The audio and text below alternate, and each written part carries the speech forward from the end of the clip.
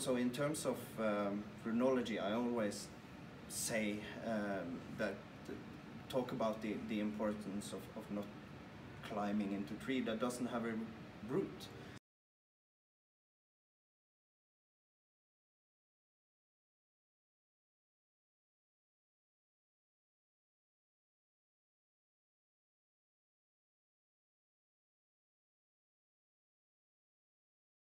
Yeah, well, yeah, it is. It is sort of a sort of a um, yeah paradox that the fact that uh, when you, when you look up uh, books on runes and stuff, it's it's very much about the, the Proto-Scandinavian runes that uh, also known as the Elder Futhark, and and it's uh, it's not really the place to start. You know, in terms of runology, there is there are so many things that um, we actually don't know, uh, especially about the Elder Futhark. Um, Certain, certain runes we don't know the names of. no, instance, yeah. some are obviously wrong, in my opinion. Uh, the ones we, the sort of reconstructed names. Uh, uh, so, so in terms of um, runology, I always say um, that th- talk about the, the importance of, of not climbing into a tree that doesn't have a root. It's a wonderful quote.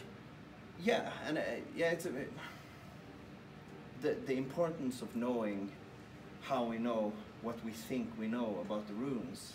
You know, study the history um, of runology. I, I find that to be very important, and and of course, um, in the runic proverbs we have is is an important source of of, of um, both understanding their names and and also their their symbolic quality. Um, uh, so so it just makes so much more sense to to start out with Younger Futhark, which we know much more about.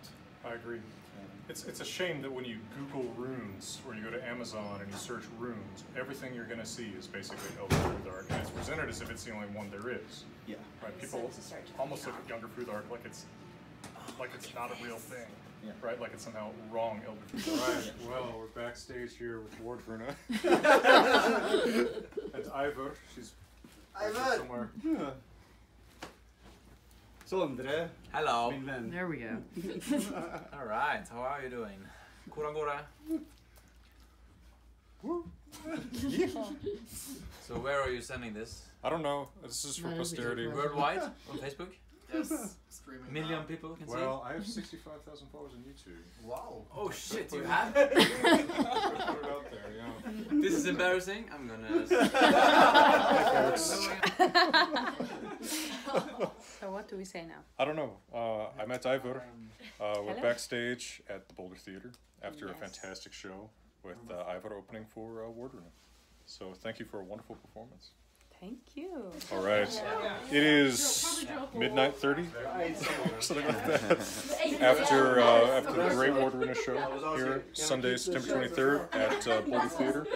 It has been an immense pleasure to get to know you. So Likewise. I thoroughly endorse. yeah, we it's been yeah, it's been some good uh, discussions after the concerts as well. So it's been a pleasure. It's it's been really wonderful. Thank you again. Yeah. like-